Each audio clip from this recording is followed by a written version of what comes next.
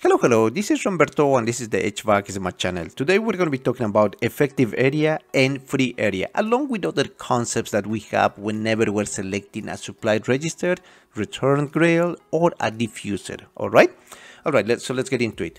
So we're going to start with the, uh, so with the effective area. So what is effective area? We're going to put that as an FK. So let's put that in here. So F, AK, okay, AK so this is going to be effective area. Effective area. Okay. So the other concept is going to be AF. So AF, it is free area. Free area. Okay. So a very easy way to remember or to know the difference are the units. Remember that the units will tell you which one is which. So we're to put that in white so that way it's noticeable. So effective area is to be in square feet, whereas if free area is to be in square inches, okay? Square inches. So we're to put that like this.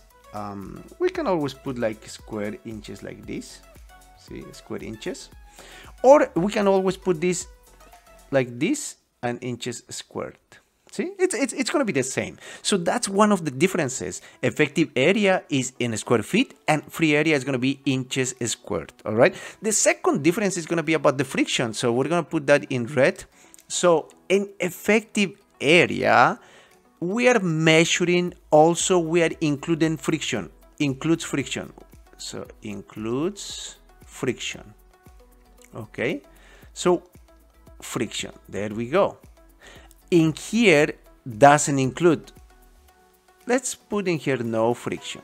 There we go. No friction. It doesn't include the friction. Okay? All right. So now what am i referring to includes friction? So now let's continue with the effective area so the effective area is actually the area of the register, diffuser, or a grill that the air uses. Okay, so we're talking about the air. The air uses to follow or to flow through to flow through it, including friction. So in other words, this is going to be lab tested. So if we have our register right here, see, my air is going to be passing by of course see air is passing by it's passing by see all the air yeah. But it includes the friction when it's hitting the blades. So since we cannot do that the manufacturer already do this test in the lab. So that's why that value is already provided in the tables. So in other words you're not going to be able to calculate this number which is ak and also this ak is a very popular number popular um, area that the manufacturer uses. So see, I'm putting an AK in here. I'm, I'm going to put this in pink since uh, it's very important. So when we go to the tables, you're going to be able to see AK in every single register. So for example, we have a register in here 8 by 4. So the AK is 0.090. So if we go to 12 by 6, you're going to be able to see the another AK. Other people call it AK factor, but AK is going to be 0.225. And sometimes you're to be able, okay, let's try to calculate this. Okay, we're to take this and this and then do the math. Not really, because this is lab tested. So from now on, you're going to be able to tell them effective area is uh, it's obtained in the laboratory by the manufacturer. Okay, so we, we cannot calculate that. They do it by the CFM, by measuring the velocity, and therefore they obtain the AK factor. All right, so this is called the effective area, and also other people call it to. We're going to put this as green. Let's put this in green. Other people call it also net area. See net area. Okay. And this is uh, tested in the lab. Tested or obtained obtained in the lab. Okay in the lab. By manufacturer. Manufacturer. Manufacturer all right so this is an accurate number because this includes the friction so in other words how do you obtain the CFM? So the CFM actually is going to be a, the following formula. So the CFM is going to be AK factor C, effective area, times the velocity. So in other videos, we saw the velocity that the manufacturer recommends and ACAD recommends was 700 for supplied registers. So in other words, if we have this, um, we want to obtain, for example, the CFM for a below for this grill. Let's let's put an example in here. So we're gonna select this register. So that's gonna be a 10 by 10 by 6.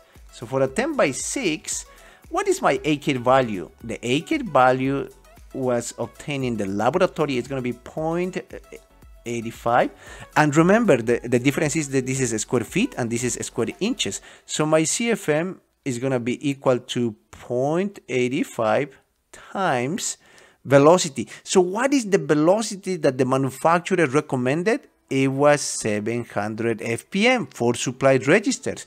So in other words this is going to be 0.185 times 700 fpm so 700 fpm and that's gonna give me total value of uh, we're gonna go to my calculator. So in the calculator i'm gonna put these numbers. Okay so it's gonna be this plus this and that's gonna give me 129.5 okay so that's gonna be 129.5 cfm so in other words they just rounded up to 130 and as you can see we have 130 right there see? 130 CFM so in other words that's how they calculate the CFM all right? So that's the effective area. And if you want to know the definition the effective area is the area of the register diffuser or grill that the air uses the air uses to flow through to flow through it through to the each register including friction. There you go. That's the free area. Now we're going to go ahead for the free area and then what is the free area actually? We're talking about it's not including the friction, but the free area is the area when you're not counting the blades. Also, they call it, uh, we're gonna put it in green that they also call it uh, daylight, daylight area, okay? Daylight area, okay? Yeah, we're gonna put that uh, daylight area or also they're going to call it as a see-through area. See-through area. Okay? Through area. yeah, there you go. They call it a daylight area. Why? Because that area is actually this. We're gonna put this in green. See, it's in between the blades. We're not we're not considering the blades, so it's nice to color it. See, maybe someone but it's gonna enjoy this job. Sometimes it's coloring is very relaxing. There we go. So this is a two-way register. Yeah we're coloring this okay? That's the free area. There we go. There we go. See? So in other words light can pass through it or see through. There we go. All right. So that's the free area. And in this case is like the sum of all areas so you have area 1 2 3 4 5 until 10 for example. See this is 3 6 9 10 so the sum of all areas between the blades. And okay adding all areas between the fins or blades. Between fins or blades okay? That's gonna be the free area but also again what is the difference? Oh the difference is this is in square inch and the other one is in uh, square feet. All right? Okay so now but this af is not given by the manufacturer. Uh, everyone can call it whatever symbol they prefer. But usually I mean, most of the time, AK is always gonna be there. This I've seen this in a lot of tables. It's AK value, effective area, no matter what. AF is not just for by the manufacturer. It's just like uh, other people could call it FA, free area, or area alone. This doesn't have a denomination. I, am just calling AF free area, F as free. That's all. But this AK, remember, it is by the manufacturer and it's in every table. AK is very important, all right? Okay, so now let's continue with another uh, concept. What is face velocity? There is in here and also another factor. I don't want to make this as a carnival or a lot of colors, so we're going to continue with pink. So in here we have face velocity, all right? So what is a face velocity? The face velocity is actually the velocity that is right here at the register, okay? So we're to put that in there. And then we're gonna utilize uh, yellow okay?